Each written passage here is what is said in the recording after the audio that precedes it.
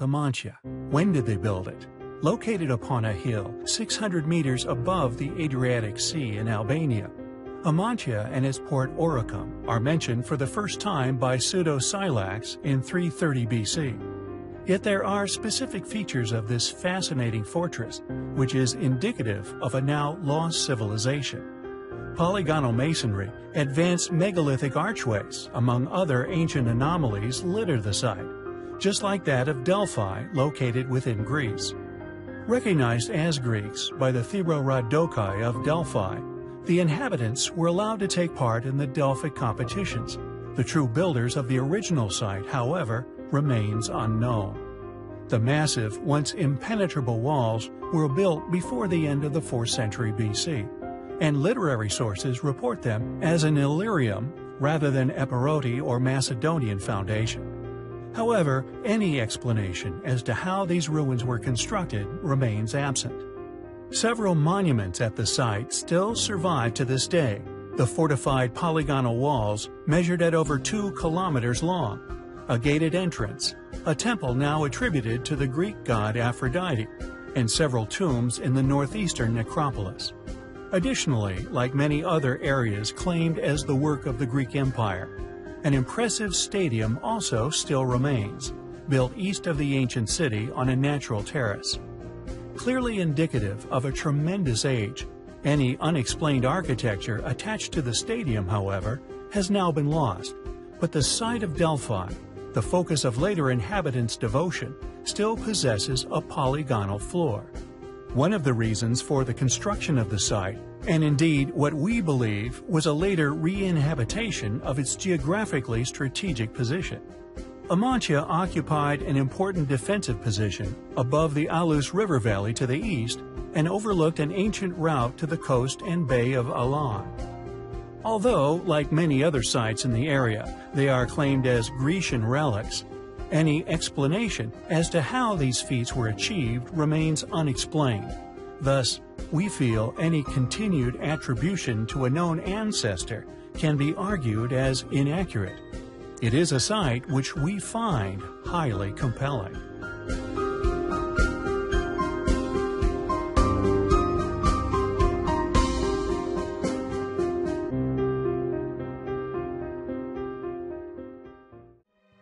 Although many of our viewers express a belief that all ancient ruins were constructed by our ancestors with methods learned over eons of trial and error, some also devoutly attest to them eventually succumbing to a biblically documented deluge. The fact remains, at this current time in history, we cannot prove this beyond doubt. As a collaboration who actively researches and seeks out these specific ruins in question, we have come into contact with considerable evidence to support many of these ruins having once been submerged, either by fresh or, more often than not, an ancient sea. However, due to their possible extraordinary antiquity, these subversive experiences may have been merely due to climactic changes, rather than divine intervention. There is also growing hostility towards the once popularly touted proposition of ancient aliens, or perhaps ancient astronauts. Many governmental bodies have supposedly come clean over recent years regarding alien disclosure, releasing a number of apparent smoking guns to the public, often videos which included military testimonies regarding said encounters. Is it therefore such an absurdity to merely postulate that, based on currently presented information, that an alien civilization, clearly far more advanced than us, is currently observing our planet and species? Perhaps we once knew these beings, before something clearly happened within our past, something which made us forget a considerable amount of our own history. Many of the ancient structures found upon our planet defy belief or explanation. Is it so unforgivable to ponder whether our ancestors received an intellectual nudge at some point within antiquity? There are also many ancient tribes whose ancestral accounts often include some sort of visitation, with some, like the Dogons, celebrating the precessions of the Sirius star system precessions we didn't confirm as accurate until earlier this century. And the Scythians could be seen as the most valuable of these tribes, mainly due to a mysterious idol, once found frozen within one of their ancient tombs, sunk deep into permafrost among the Altai mountains of Siberia. It is known as the Scythian Spaceman, and for good reason. It must be remembered when looking upon such objects with eyes from a modern world that the clothing this idol wears is far removed from the tribe in which created it. It is not only unusual, but eerily reminiscent of our own modern spacesuits.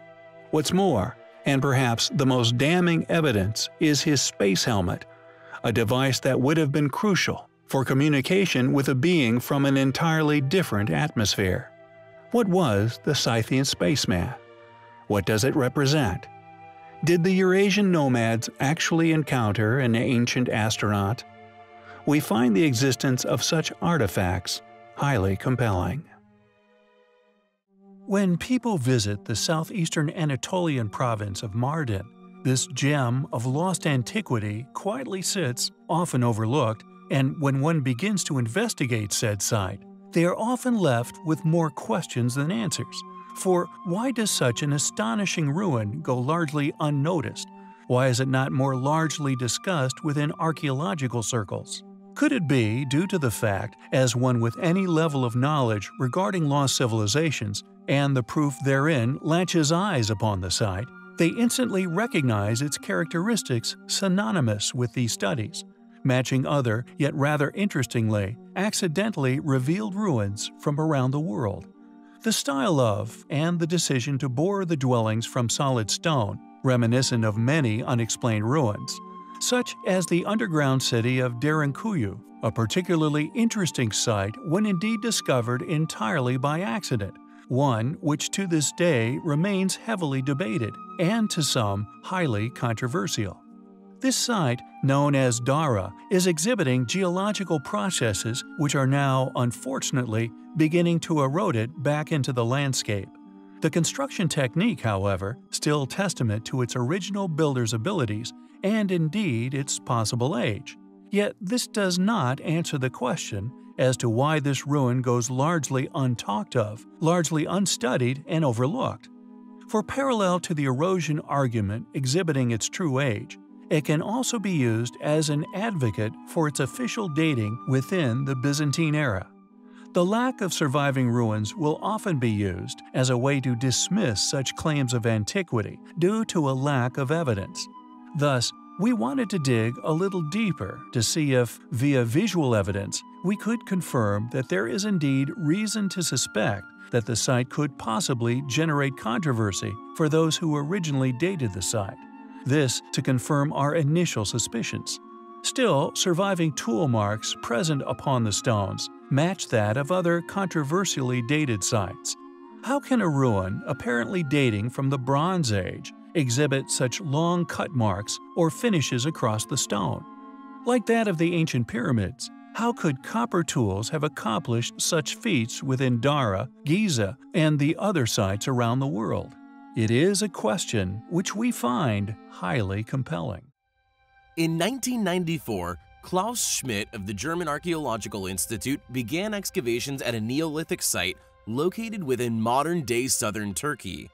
Noted for its immense size and its undeniably incredible antiquity, Göbekli Tepe is an ancient structure made up of at least 200 T-shaped stone pillars some of which measuring an impressive 6 meters in height and weighing a respectable 22 tons in weight.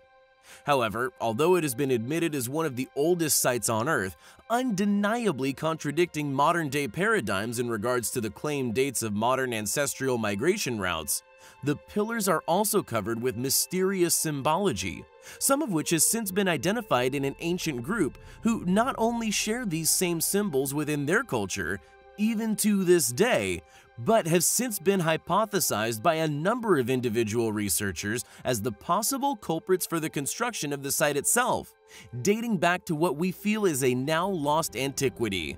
Göbekli Tepe has been academically dated as being at least 12,000 years old, Yet any logical explanation as to who or indeed how the site was constructed remains conveniently elusive. Yet regardless of the unanswered questions that many people are still left with, even after academia's explanation, intrigue has seemingly increased since its exception into known site of Earth's antiquities. Modern studies have discovered compelling links between the symbolism of the site and that of the symbolism still used within Aboriginal groups of Australia famous for their ancient ancestry and their claims of a lost time before history books began, which they now call dream time, it seems that further to these curious beliefs, they also share an ancient language of symbols with the site, whose meanings has unfortunately been lost to the chasm of time. Yet regardless of their lost meaning, the similarities between this mysterious language and that of the symbology carved upon what is claimed as the oldest site on Earth is undeniable. This realization has enabled a number of individual researchers to conclude that there was once a now lost civilization who they now believe and claim was once made up of Aboriginals, who they also claim seemingly survived upon the continent of Australia, but were mysteriously wiped out upon the many other continents of the Earth.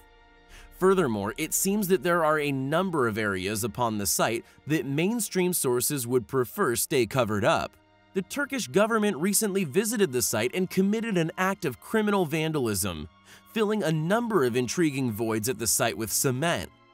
The question is, what were they so desperate to conceal?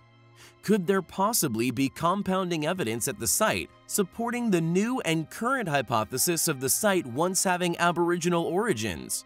It's undoubtedly a site which deserves more protection, one which we find highly compelling.